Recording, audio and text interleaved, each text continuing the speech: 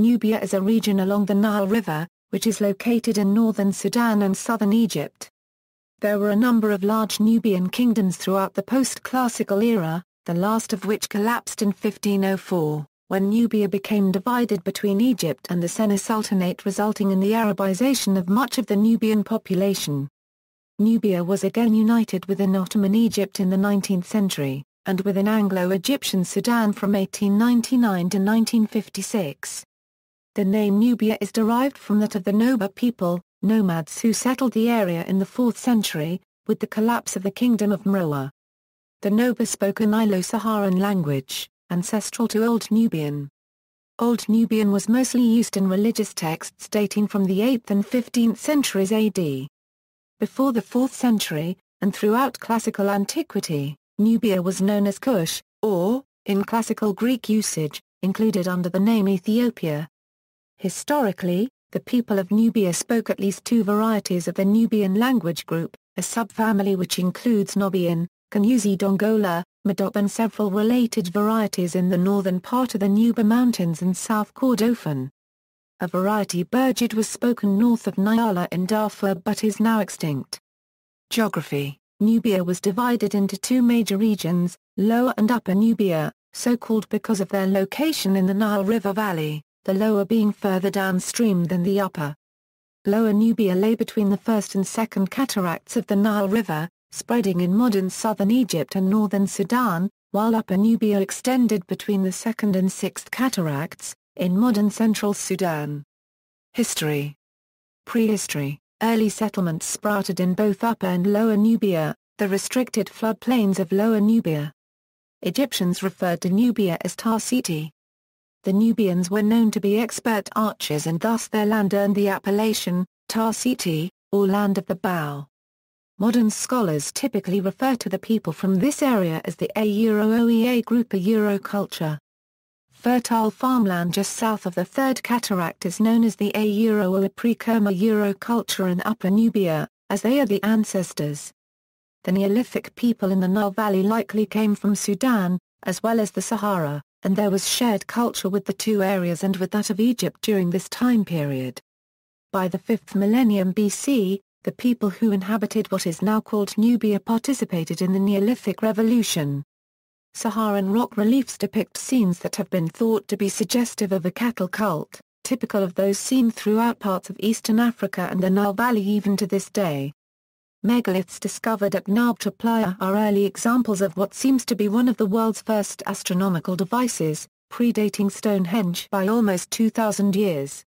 This complexity as observed at Nabta Playa, and as expressed by different levels of authority within the society there, likely formed the basis for the structure of both the Neolithic society at Nabta and the Old Kingdom of Egypt.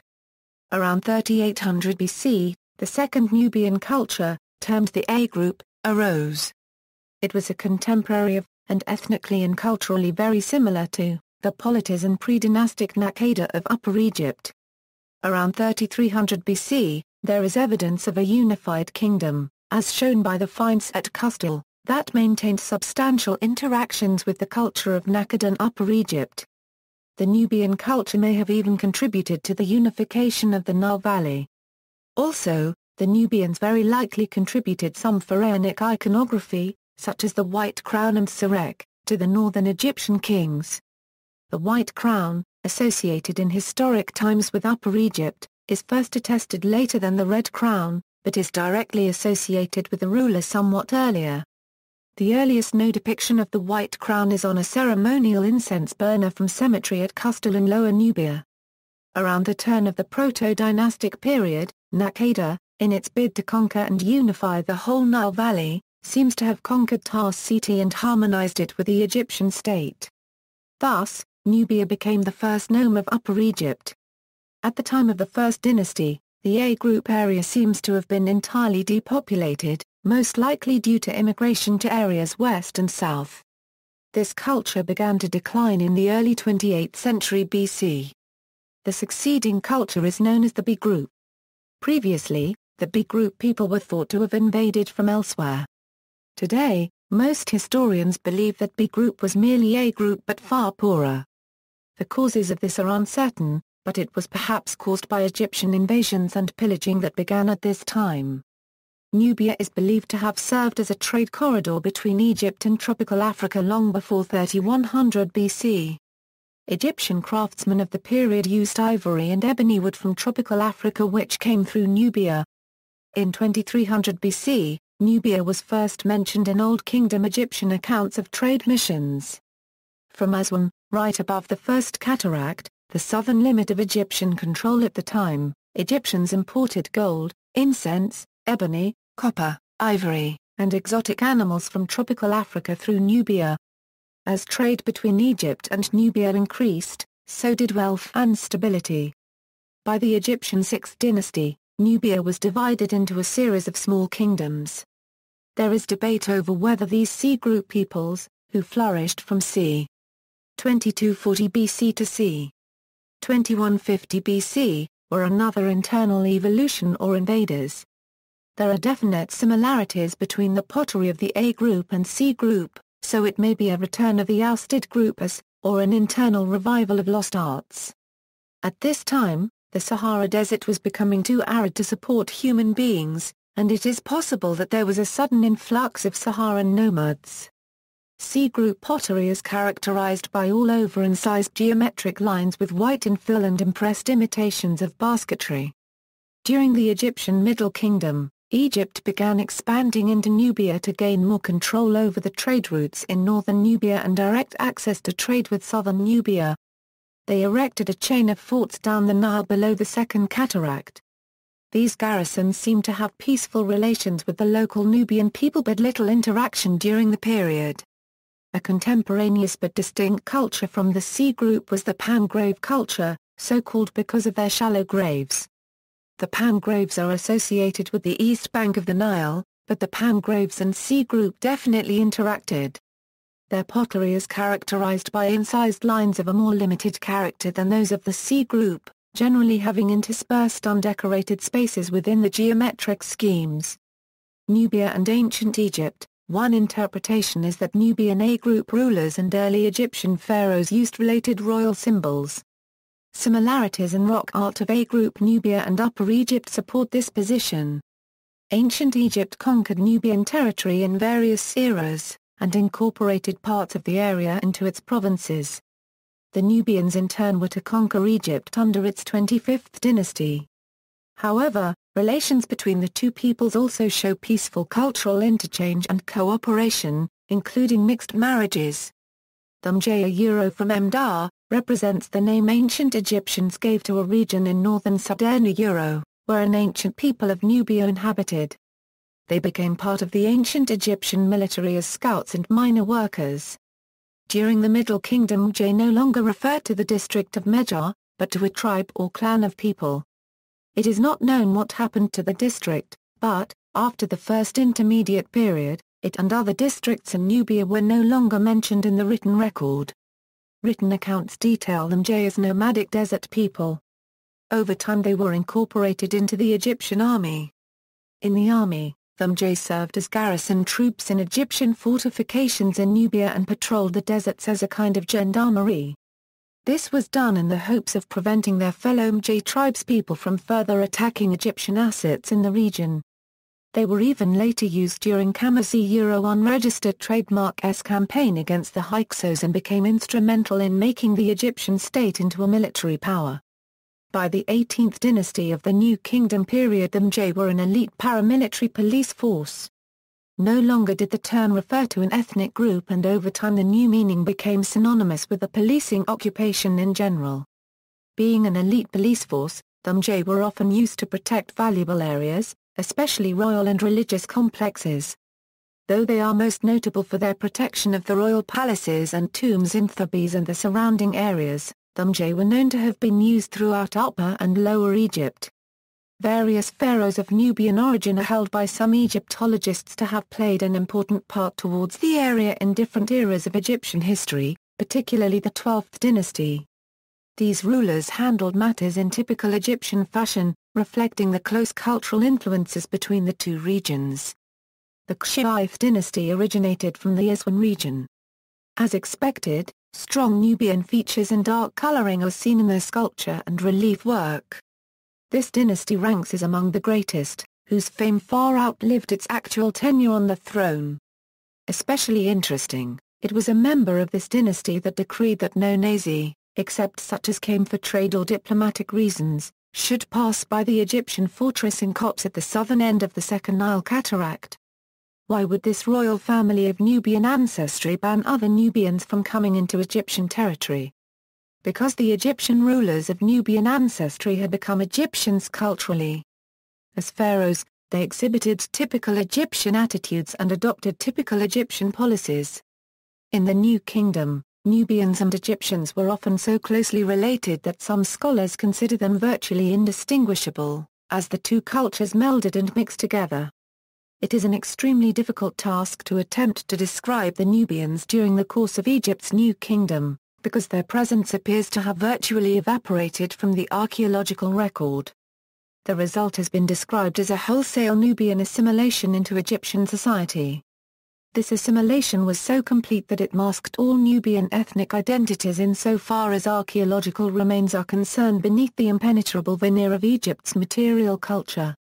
In the Kushite period, when Nubians ruled as pharaohs in their own right, the material culture of Dynasty XXV was decidedly Egyptian in character.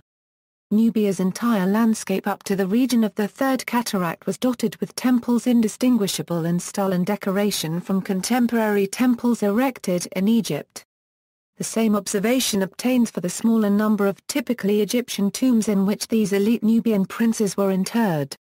Kerma From the pre-Kerma culture, the first kingdom to unify much of the region arose. The Kingdom of Kerma, named for its presumed capital at Kerma, was one of the earliest urban centers in the Nile region. By 1750 BC, the kings of Kerma were powerful enough to organize the labor for monumental walls and structures of mud brick. They also had rich tombs with possessions for the afterlife and large human sacrifices. George Reisner excavated sites at Kerma and found large tombs and a palace-like structures. The structures, named, alluded to the early stability in the region. At one point, Kerma came very close to conquering Egypt. Egypt suffered a serious defeat at the hands of the Kushites. According to Davis, head of the joint British Museum and Egyptian archaeological team, the attack was so devastating that if the Kerma forces chose to stay and occupy Egypt, they might have eliminated it for good and brought the nation to extinction. When Egyptian power revived under the new kingdom they began to expand further southwards. The Egyptians destroyed Kerma's kingdom and capital and expanded the Egyptian empire to the Fourth Cataract. By the end of the reign of Thutmose I, all of northern Nubia had been annexed. The Egyptians built a new administrative center at Napata, and used the area to produce gold. The Nubian gold production made Egypt a prime source of the precious metal in the Middle East. The primitive working conditions for the slaves are recorded by Diodorus Siculus who saw some of the mines at a later time. One of the oldest maps known is of a gold mine in Nubia, the Turin papyrus map dating to about 1160 BC. Kush. When the Egyptians pulled out of the Napata region, they left a lasting legacy that was merged with indigenous customs, forming the Kingdom of Kush. Archaeologists have found several burials in the area which seem to belong to local leaders. The Kushites were buried there soon after the Egyptians decolonized the Nubian frontier. Kush adopted many Egyptian practices, such as their religion. The kingdom of Kush survived longer than that of Egypt, invaded Egypt, and controlled Egypt during the 8th century as the 25th dynasty of Egypt the Kushites held sway over their northern neighbors for nearly 100 years, until they were eventually repelled by the invading Assyrians. The Assyrians forced them to move farther south, where they eventually established their capital at Meroe. Of the Nubian kings of this era, Taharqa is perhaps the best known. A son and the third successor of King Pi, he was crowned king in Memphis ca Euro 690. Taharqa ruled over both Nubia and Egypt, restored Egyptian temples at Karnak, and built new temples and pyramids in Nubia before being driven from Egypt by the Assyrians. Meroe Meroe in southern Nubia lay on the east bank of the Nile about 6 km northeast of the Kabushiya station near Shendi, Sudan, circa 200 km northeast of Khartoum. The people there preserved many ancient Egyptian customs but were unique in many respects. They developed their own form of writing, first utilizing Egyptian hieroglyphs, and later using an alphabetic script with 23 signs. Many pyramids were built in Meroe during this period and the kingdom consisted of an impressive standing military force. Strabo also describes a clash with the Romans in which the Romans defeated Nubians. According to Strabo, following the Kushite advance, Petronius prepared a large army and marched south. The Roman forces clashed with the Kushite armies near Thebes and forced them to retreat to Pselchis in Kushite lands. Petronius, then, sent deputies to the Kushites in an attempt to reach a peace agreement and make certain demands. Quoting Strabo, the Kushites desired three days for consideration in order to make a final decision. However, after the three days, Kush did not respond and Petronius advanced with his armies and took the Kushite city of Premnes south of Madharak. From there, he advanced all the way south to Napata, the second capital in Kush after Meroe. Petronius attacked and sacked Napata, causing the son of the Kushite queen to flee. Strabo describes the defeat of the Kushites at Napata, stating that he made prisoners of the inhabitants. During this time, the different parts of the region divided into smaller groups with individual leaders, or generals, each commanding small armies of mercenaries. They fought for control of what is now Nubia and its surrounding territories, leaving the entire region weak and vulnerable to attack. Meroe would eventually meet defeat by a new rising kingdom to their south, Aksum, under King Ezana. The classification of the Meroitic language is uncertain. It was long assumed to have been of the Afro-Asiatic group, but is now considered to have likely been an Eastern Sudanic language. At some point during the 4th century, the region was conquered by the Noba people, from which the name Nubia may derive. From then on, the Romans referred to the area as the Nobati.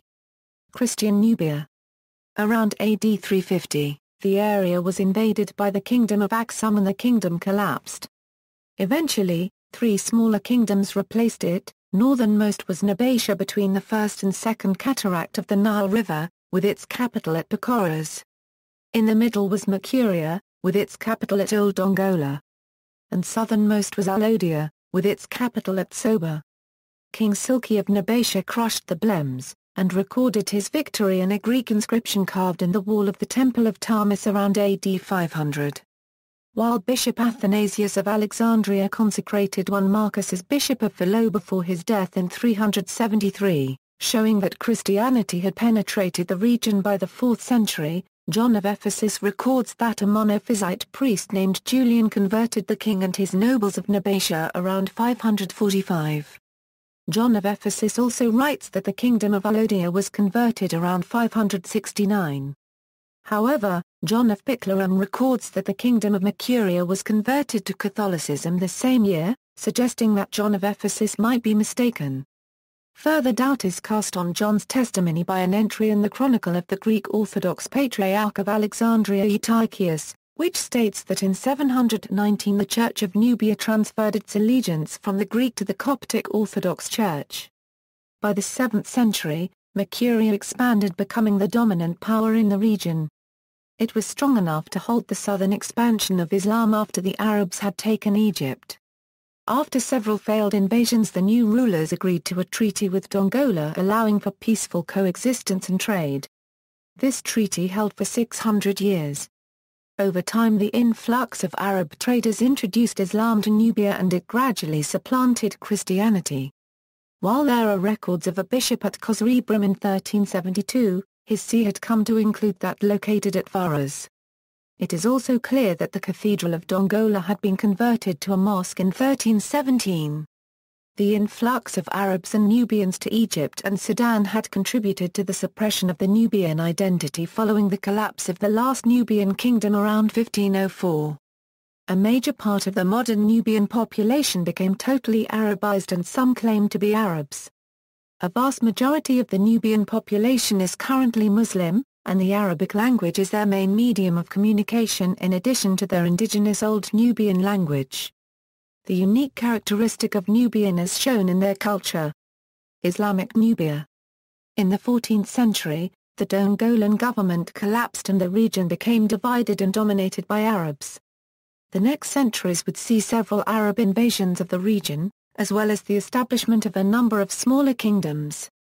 Northern Nubia was brought under Egyptian control while the south came under the control of the Kingdom of Sennar in the 16th century.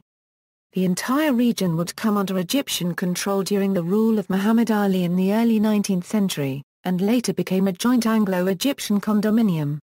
Contemporary issues With the end of colonialism and the establishment of the Republic of Egypt, and the secession of the Republic of Sudan from unity with Egypt, Nubia was divided between Egypt and Sudan. In the 1970s, many Egyptian Nubians were forcibly resettled to make room for Lake Nasser after the construction of the dams at Aswan. Nubian villages can now be found north of Aswan on the west bank of the Nile and on Elephantine Island and many Nubians today live in large cities such as Cairo. See also, 25th Dynasty of Egypt, Nubiology, Nubian languages, Pyramids of Nubia, Nubian architecture, Aida, Nubian desert, Nubian archaeological expeditions, Nubia-Nile boat, notes. Further reading, Adam, William Wythe Nubia Corridor to Africa, London. Black Pharaohs, National Geographic, February 2008. Bulayat al-Nubia, The Earth and Its Peoples, ppA 70 a Euro 71, Houghton Mifflin Company, Boston. Embling, Jeff, Nubia Ancient Kingdoms of Africa. New York, Institute for the Study of the Ancient World. Fisher, Marjorie, A.L. Ancient Nubia, African Kingdoms on the Nile. The American University in Cairo Press.